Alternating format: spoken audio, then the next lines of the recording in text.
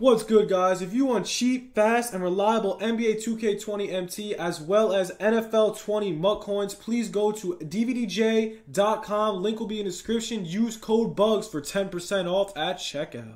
What's good, YouTube? It's your boy Bugs back on another NBA 2K20 My Team video. Guys, today we have crazy, crazy content. I mean, not content, but for you, it's considered content. Um, we found new MT method. I found the best MT method ever. Um, it's gonna make you guys a ton of MT. Listen, I, am broke. Okay, I bought most of my team. I am broke. I'm gonna work my MT today. I got uh, I'm off day today. I'm gonna grind. But yeah, guys, as per usual, drop 20,000 MT in the comments for a chance at winning 20,000 MT. Videos gotta hit 40 likes. It's not a lot of likes, bro. We've been hitting 35 almost every video. So make sure to smash that like button we're very close to that like goal, somebody on Xbox One will win 40,000 MT. So make sure to hit that like button.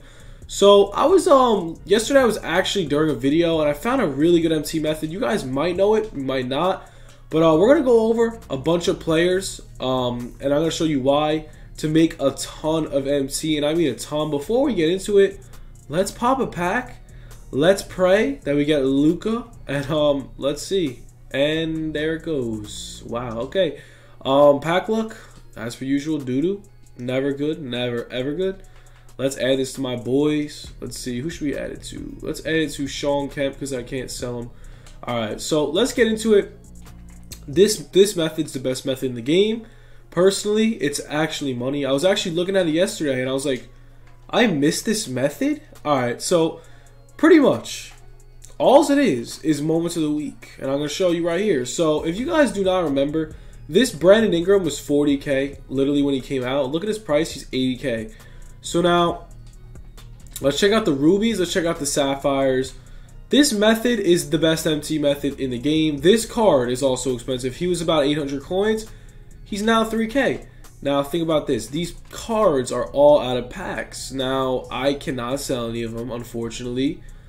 But I do have these over here. Now, I will not be doing this set because it is a waste of MT in my opinion, and because these cards are around 150k each, and you get a pink diamond Lillard. Yeah, it's cool, but uh, yeah, you guys understand. But if you haven't realized, all these cards they're gonna go up in value. Yes, they're out of packs. Moments of Week Four is out. Um, peep this Jonathan Isaac. He's gonna go around for 4k. I got him for about one. This Collin Sexton's gonna be pretty decent. Oh, he's actually not expensive. But as you guys know, as the weeks go on, they go up in price. So let's check out this set. This was two weeks ago. We're on moments of the week four. I have these cards stacked up so far. Ready? Want to see Brogdon's price? Oh, he's not even on the auction. So right there, you could pick up maybe 80k.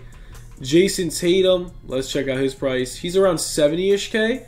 Literally was at 40k. Um, let's check out Toby. He's at 9K. He was at 5K when I got him. Let's check out Al, about 6K. So I'm saying about wait about two weeks. That might be the method, okay? I would say about two weeks. This Aron Baynes is rocking around four. He was literally one, maybe even 900. Wendell Carter Jr.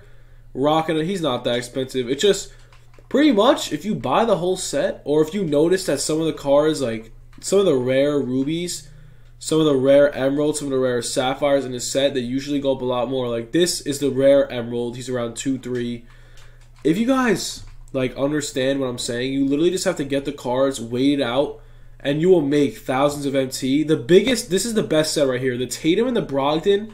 Like the fact that there's no Brogdon on the market is literally insane, and the fact that Tatum's still 70k, he went up so much. If you guys don't remember one of my one of my videos, I did the Luka's set and then they all dropped a ton because of the market crash. Literally, it's such a good time. Like I missed out. Let's check out if there's actually no Brogdons. Let's see.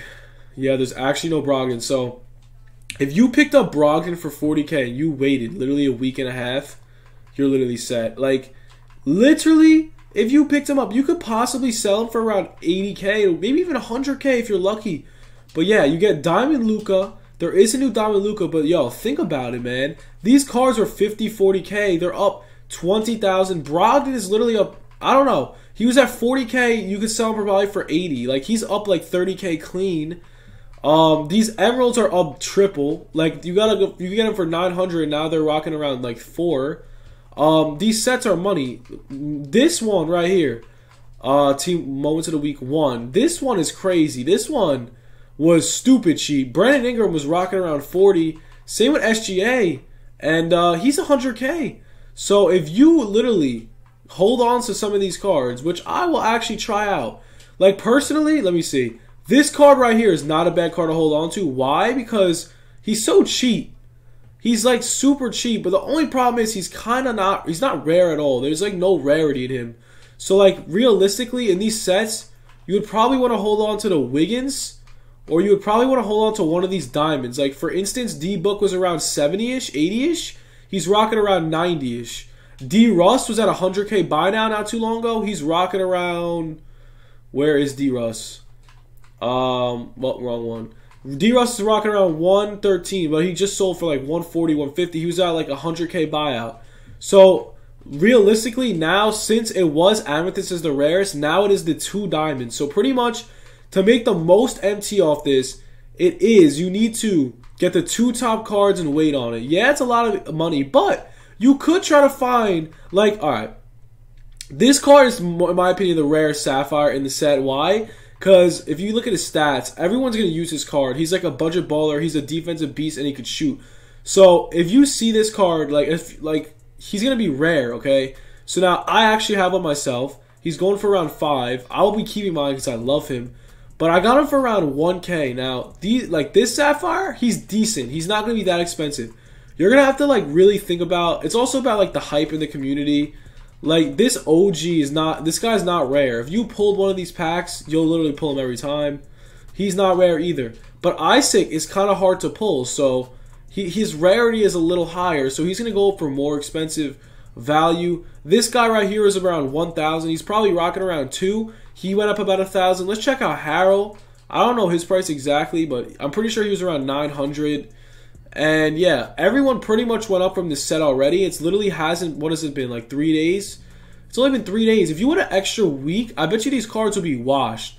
But the only problem is, it's like further down the road, we could see a possible moments of the week, like like every every single pack in the like game.